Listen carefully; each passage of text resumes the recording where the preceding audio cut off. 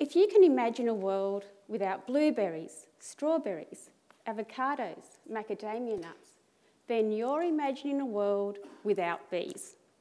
Bees play a vital role in the very making of these foods and other foods possible. In fact, three quarters of global food crops rely on pollination by insects, by bees, to thrive.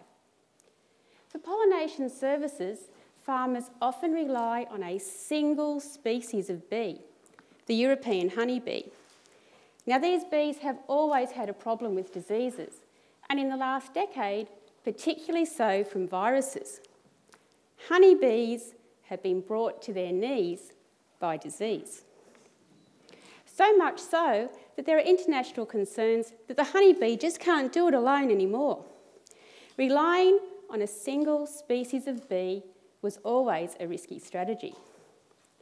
The good news is we don't have to. There is a plan, and I call it Plan B. Honeybee. No, native bee. and we have over 2,000 different species.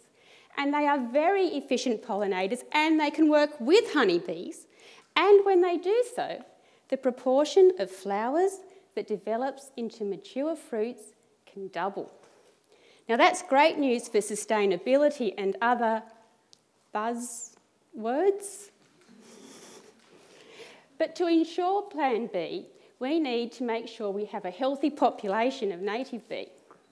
Now, it's possible that native bees might share some of their diseases with honeybees, but I'm more concerned if honeybees are sharing their diseases with native bees, particularly those viruses, because then they can start to do real damage to our wildlife.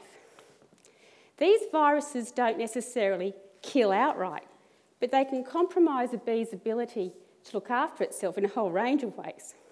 Now, for honeybees, they're social and they live in hives of tens, tens of thousands, so they can accommodate this inefficiency to a certain degree. But our native bees, they mostly live alone.